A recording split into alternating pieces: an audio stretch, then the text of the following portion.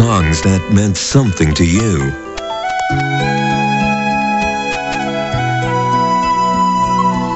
Priceless moments you fondly recall. We play them all day and all night long.